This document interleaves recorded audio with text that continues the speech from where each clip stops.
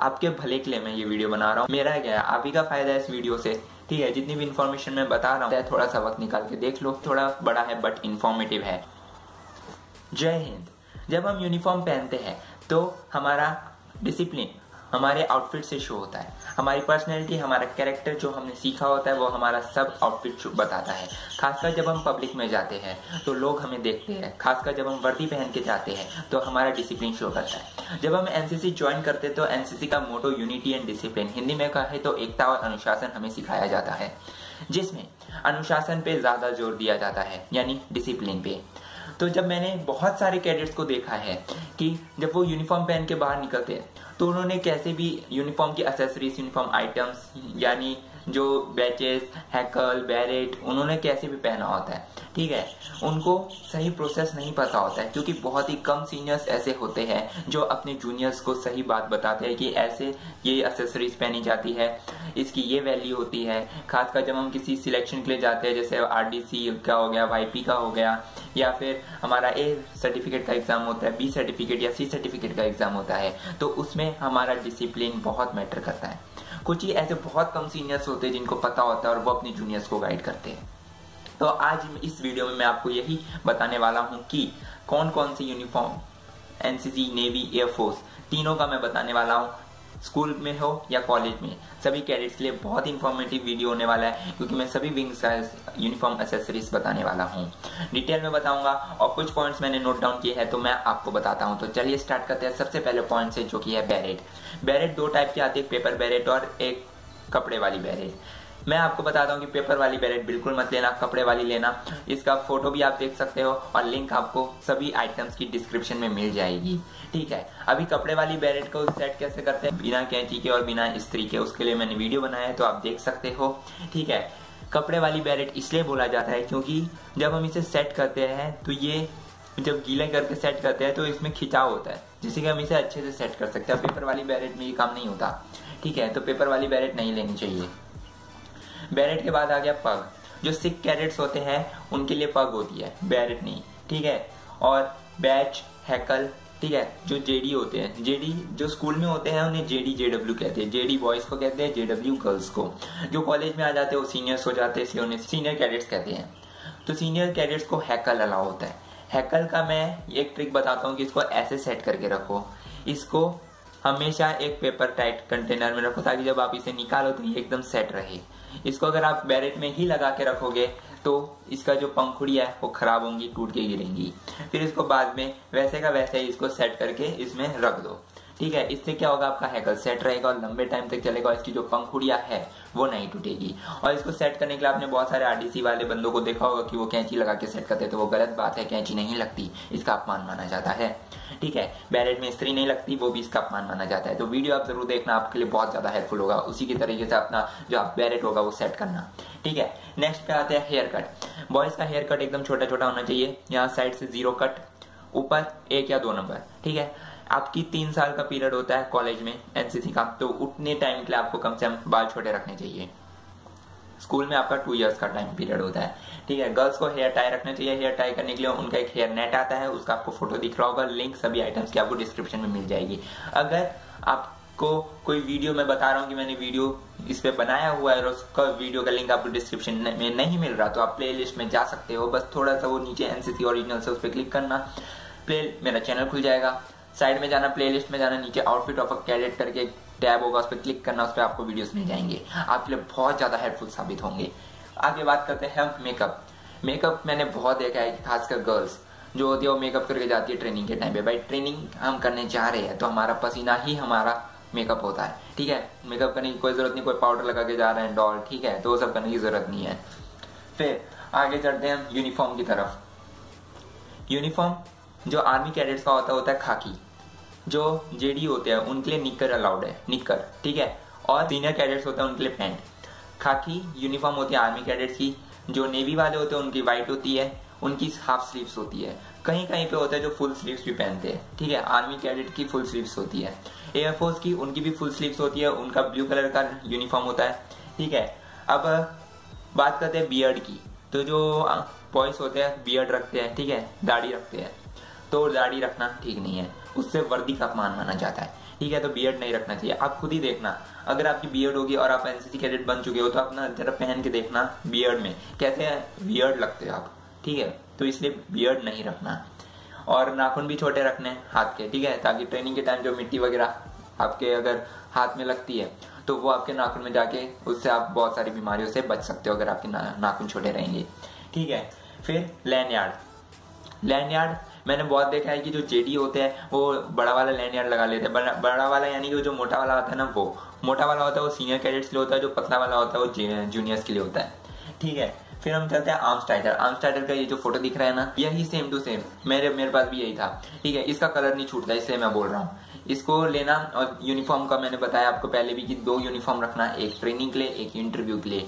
जो ट्रेनिंग के लिए आप यूनिफॉर्म रखोगे उसमें आर्म टाइटल यहाँ पे जो आप एनसीसी का लगता है उसको सिलवा लेना। अच्छे से क्योंकि जब ट्रेनिंग करते हैं मार्च करते हैं तो यहाँ से एक दूसरे का लग के टूट जाता है। इसलिए ट्रेनिंग वाले पे यहाँ पे सिलवा लेना। और जो इंटरव्यू वगैरह के लिए रखोगे, उसमें सिलवाना मत। उसमें अलग से आर्म टाइटल रखना पिन वाला, वो लगा के काम चला लेना।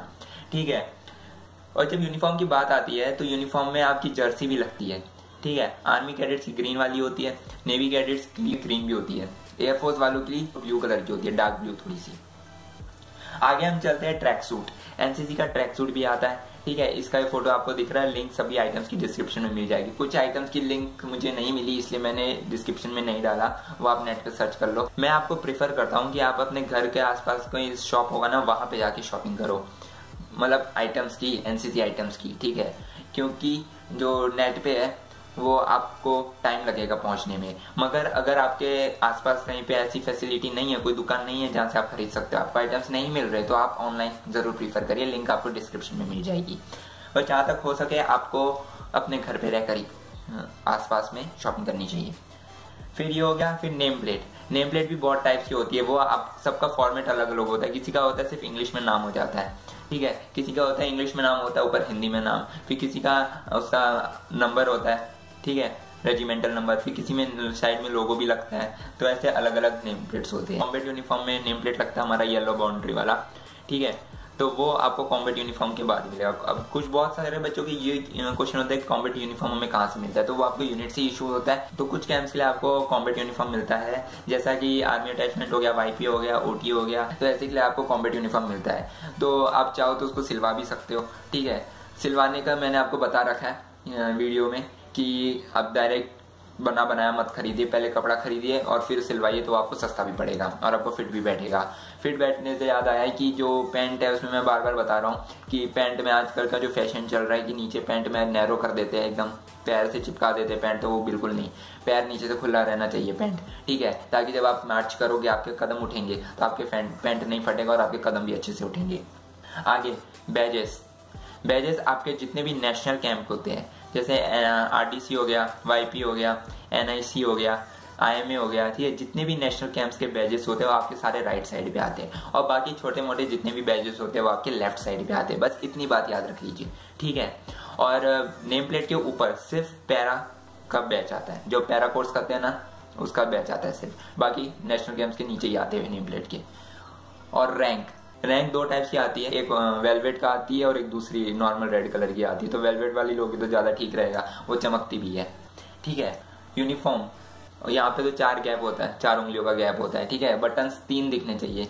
ये सब, ये बहुत कैडेट्स में मैंने देखा देखो, अगर आप फैट हो, ठीक है? और आपका तीन बटन से ज़्यादा बटन दिख रहा है तो उसमें कुछ नहीं कर सकते, मगर यह है कि आपको अच्छे से पहनना चाहिए। एकदम फिट ऐसे नहीं कि वर्दी बाहर निकल रही है। ठीक है? वैसे नहीं। एकदम अच्छे से नाइसली आपको स्मार्टली दिखना है। वर्दी पहनने का मेन मकसद ये है कि आप स्मार्ट दिखने चाहिए। ठीक है? बाकी अगर जैसे फिट है, उनको तो तीन बटन ही दिखने चाहिए बेल्ट से ऊपर। ठीक है? और हर बटन के बीच में फाइव फिंगर्स का गैप होना चाहिए। ये हो गया और वर्दी पहनते तब बहुत बच्चे होते हैं, वो ऊपर का एक बटन खुला रख देते हैं। मतलब ये कॉलर वाला तो खुला ही रहता है, ये भी खुला रहता है, मगर ये खुला नहीं रखना, ठीक है? वर्दी पहनी है तो डिसिप्लिन में रहना है, इज़्ज़त से रहना है एनसीसी कैडेट हो, ठीक है? एटलीस्ट जितने साल के लिए आप एनसीसी कर रहे हो, तब तक के लिए तो आपको डिसिप्लिन में रहना ही रहना चाहिए, ठीक है? फिर आगे बढ़ते हैं हम वेब बेल्ट वेब बेल्ट आपको एक फ़ोटो दिख रहा होगा, ठीक है? ये वाले बहुत बहुत बंदे पहनते हैं। इसके जो पीछे की धुकड़िया है ना, ये पिट्ठू वाला बैग है। यानी कि जब आपको पिट्ठू लगना होता है ना, तब ये बेल्ट काम का आता है। और जब आप नॉर्मल ट्रेनिंग के लिए आप जब जेडी होते हो या एसडी में ही आप फ़र्स्ट ईयर में होते हो, तब आपको ये जो सिंथेटिक बेल्ट दिख रहा है ना, ये आपको लागू नहीं होता। तो आपको जो लागू होता है ना, वो बेल्ट ये होता है। आपको फ़ोटो भी दिख रहा होगा, ये भी दिख रहा होगा। इसका पहनने का क्या तरीका होता है, देखो। कुछ क्या होता है, इसको ऐसे लगा लेते हैं। ये गलत तरीका है। इसको फिट करने का क्या है, देखो, इसको अंदर से ऐसे डाल के, ऐसे सेट करना है। ठीक है? तो ये जो बेल्ट है ना, ये लागू है।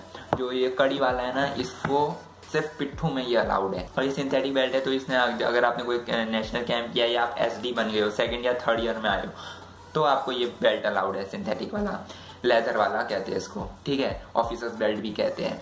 इसका, अब आपको एक और प्रॉब्लम आएगी, जब आप परचेस करने जाओगे तो आपको ये बेल्ट नहीं मिलेगा। तो आपको क्या करना है, जो इसका पीछे का लेदर का होगा ना, बाकी का, वो खरीद लेना है और बक्कल अलग से आएगा तो वो आपको खरीदना है। ये हो गया अभी नेक्स्ट सपोर्टर सपोर्टर बहुत इंपॉर्टेंट होता है आपके जो शर्ट है, उसको ट्रेनिंग के टाइम पे बाहर निकलने से बचाने के लिए, ठीक है? खासकर इंटरव्यू के टाइम पे सपोर्टर बहुत ज़रूरी होता है, क्योंकि उसमें ड्रिल वगैरह होता है तो आपके जो आउटफिट होता है ना, पहले आपका ड्रिल करवाएँगे, उसके बाद आपका आउटफिट चेक करेंगे, ठीक है? बेल्ट वगैरह हिल तो नहीं गया, आपके बैचेस फिर आपके शर्ट कितना निकल गया वगैरह, वो सब, ठीक है? वो अपने स्टक इन रखने के लिए। ही सपोर्टर यूज़ होता है। इसकी लिंक भी आपको नीचे मिल जाएगी। फिर हैंड चीफ रुमाल। इसका ये व्हाइट कलर का होता है और इसको लेफ़्ट पॉकेट में रखा जाता है, ठीक है? इसको हमेशा अपने साथ रखना है। भले आप ट्रेनिंग के लिए जा रहे हो या इंटरव्यू के लिए जा रहे हो लेफ़्ट पॉकेट में आपका व्हाइट रुमाल होना ही होना चाहिए, ठीक है? फिर सॉक्स सॉक्स दो टाइप्स के चलते हैं ब्लैक चलते हैं, ज़्यादातर डीएमएस के बूट्स के साथ, ठीक है? डीएमएस पे भी मैं वीडियो बना चुका हूँ डिटेल्ड वाला। कौन सा लेना चाहिए, ठीक है? कैसे उसकी लेसेस वगैरह, वो सब बना चुका हूँ मैं।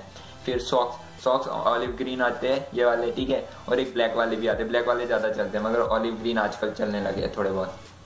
फिर बूट्स पे मैं वीडियो बना चुका हूँ, ठीक है? तो ये जो आपको मैंने अभी बता दिया, कैसे ये सब आइटम्स होते हैं और पहनते हैं। जो आर्मी कैडेट्स का होता है आर्म टाइटल वो रेड कलर का होता है। और बैचेस जैसे ये ए बी सी ठीक है? इनका रहता है ना आर्मी वालों का रेड रहता है, नेवी वालों का डार्क ब्लू रहता है और एयरफोर्स वालों का लाइट ब्लू रहता है, ठीक रैंक रैंक क्या होता है कि जो जैसी सेकंड ईयर में आते हैं रैंक लगा के घूमने लगते हैं, भाई क्या है? किसी से पूछा तो वो बताता है कि हमारे ए ने दिया है। ए सर ने आपको भले ही अपॉइंट किया है, ठीक है? उसको कैंप में, या फिर जब आप थर्ड ईयर में आ जाओगे, तब आप रैंक लगाओगे। सेकेंड ईयर में अगर आप आ भी गए हो तो आपको ब्लैक रैंक लगेगी, ठीक है?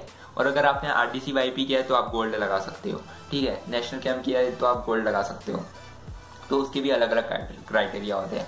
मैं ये जितनी भी इंफॉर्मेशन बता रहा हूँ ना, ये सारी इंपॉर्टेंट इंफॉर्मेशन है। अगर आपको अच्छे से स्मार्ट वे में दिखना है, आपको एक्स्ट्रा मार्क्स देखो, कहीं भी आप जाओगे ना, किसी भी एग्ज़ाम के लिए, खासकर R D C Y P Y P के लिए ज़्यादा बंदे क्यों नहीं सिलेक्ट हो पाते? क्योंकि एक तो वैकेंसी कम रहती है, ऊपर से, जिसका आउटफिट अच्छा होता है, जिसका कम्युनिकेशन स्किल अच्छा होता है, जिस, जो ऑलराउंडर कहते हैं एक तरीके से, वो होता है ना, उसको भेजा जाता है भाई भी आपके भले के लिए मैं ये वीडियो बना रहा हूँ। मेरा क्या है आप ही का फ़ायदा है इस वीडियो से। ठीक है, जितनी भी इन्फॉर्मेशन मैं बता रहा हूँ थोड़ा सा वक्त निकाल के देख लो। ठीक है तो अभी यूनिफॉर्म का मैंने बता दिया आपको पूरा अच्छे से। मैं, अभी ये मैं सिर्फ़ कैडेट्स का बता रहा हूँ आर्मी नेवी एयरफोर्स सभी विंग्स का। तो आई होप कि इस वीडियो से आपको बहुत ज़्यादा हेल्प होगी और इन मैं उम्मीद करता हूँ कि इन चीज़ों को जो मैंने बताया, आपको पॉइंट्स बताए, उसको आप ध्यान में रख के अप्लाई करोगे। और अगर कुछ भी डाउट है तो मुझे कमेंट बॉक्स में नीचे पूछ सकते हो। मेरे मैं आपको जवाब दे देता हूँ, जितना डिटेल में हो सके उतना डिटेल में आपको मैं जवाब देता हूँ। ठीक है? और बहुतों ने मेरे से एनसीसी की बुक का भी पूछा है कि कौन सी बुक लगती है वगैरह, वो सब पढ़ाई के लिए बेस्ट जो रहती है। उसका लिंक भी मैंने नीचे डिस्क्रिप्शन में दिया है। ए बी सी सर्टिफिकेट तीनों के लिए काम आएगी। ठीक है, वो बहुत बेस्ट बुक है। उसको ज़रूर आप परचेस करना और उसको अच्छे से पढ़ना। ठीक है, वो बुक में से सब कुछ आता है। इस वीडियो को शेयर ज़रूर करना। भले ही थोड़ा बड़ा है बट इन्फॉर्मेटिव है। और कोशिश करना कि अगर ये वीडियो आप ना भी शेयर कर पाओ तो जो ये इन्फॉर्मेशन मैंने बताई है, वो अपने बाकी कैडेट्स दोस्तों को, अपने भाइयों को, बहनों को बता देना, उनको, ताकि अपना आउटफिट वो सही कर सके। ठीक है? सबके लिए बेस्ट रहेगा ये। और एक छोटा सा और काम कर देना कि जो नीचे लाल बटन है सब्सक्राइब का, वो दबा देना, और उसके साइड का बेल बटन आइकन भी दबा देना, ताकि अगला इन्फॉर्मेटिव वीडियो जैसे आए सबसे पहले पहुँचे आप तक, बिना किसी देरी के। अपना इतना कीमती वक्त देकर इस वीडियो को पूरा देखने के लिए धन्यवाद। जय हिंद। मिलते हैं अगले वीडियो में।